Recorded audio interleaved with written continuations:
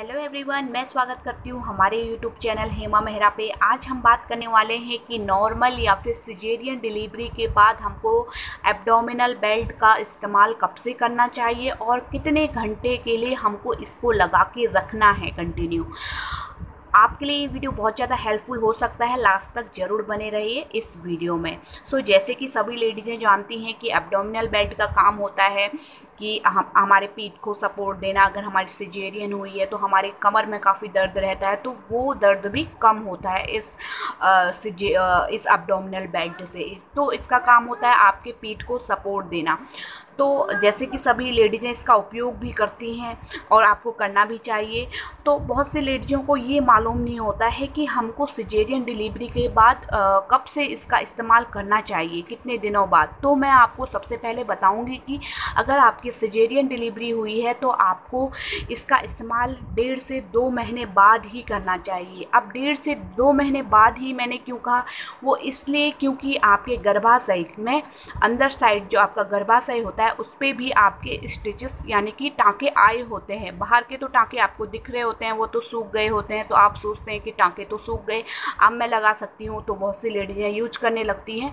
तो ये बिल्कुल गलत है, आपके गर्भाशय के भी टाँके होते हैं उनको भी हील होने में टाइमिंग लगता है और जो आपकी, जो अंदर के ऑर्गन है, वो भी काफ़ी कमज़ोर होते हैं डिलीवरी की वजह से। तो आपको कम से कम जो है डेढ़ से दो महीने का इंतज़ार करना है, उसके बाद ही आपको इसका इस्तेमाल करना है। अगर उससे पहले ही आप इसका इस्तेमाल करेंगी तो इसका दबाव आपके टाँकों पर पड़ेगा, आपको जो है, वहाँ पर इन्फेक्शन भी डेवलप हो सकता है या फिर ब्लीडिंग भी आ सकती है। दबाव के वजह से, अंदर ही अंदर ब्लीडिंग भी हो सकती है। तो आपको ध्यान रखना है कि एक से डेढ़ डेढ़ से दो महीने बाद ही आपको इसका इस्तेमाल करना है। तो इसके अलावा अगर आपकी नॉर्मल डिलीवरी हुई है तो आप इसका इस्तेमाल कर सकती हैं। कुछ दिन बाद ही जब से आपको कंफर्टेबल लग रहा है तो आप इसका इस्तेमाल कर सकती हैं, क्योंकि उसमें स्टिचेस की कोई प्रॉब्लम नहीं होती है।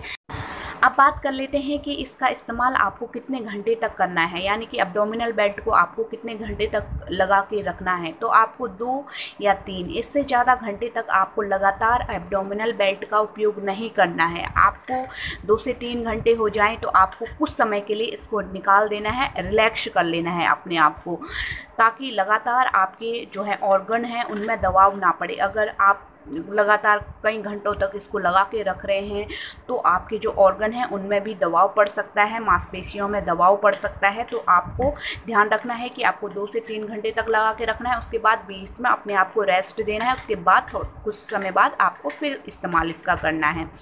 सो आई होप इस वीडियो ने आपकी हेल्प की होगी। अगर आपको इस वीडियो ने हेल्प की हो तो प्लीज़ इसे लाइक करें शेयर करें चैनल को हमारे ज़रूर सब्सक्राइब करें, साथ में बेल आइकन है, उसको भी दबा के जाएँ, ताकि जो भी हम वीडियो आगे अपलोड करें, आपके पास मैसेज आए नोटिफिकेशन आए, और आपसे वीडियो मिस ना हो, क्योंकि ऐसे हेल्पफुल टॉपिक हम हमेशा अपने चैनल पर लेके आते हैं।